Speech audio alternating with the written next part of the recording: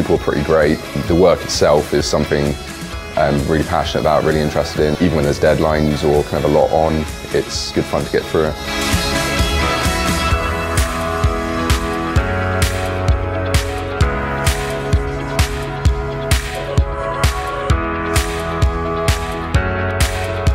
It's really welcoming. I'd only been here a week, but it felt like I'd been here months already. My role, every call's different, so I can like talk to a lot of new people every day. I like how organised the business is and I like coming in and knowing exactly what I'm doing in the morning and getting straight on with it.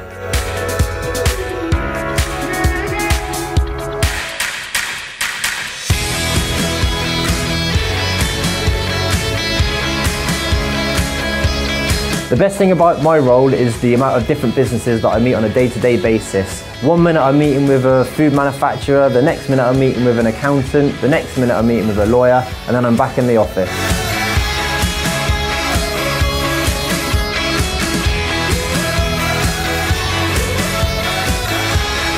Favourite part about the role is just working with such a diverse range of clients, produce everything from branding through to corporate brochures, exhibition stands, and also produce the magazine from scratch. A lot of what I do in particular is speak to a lot of journalists and editors, um, which is really good fun. I get to talk to a lot of different people, and I also get to do a lot of social media as well, which is good.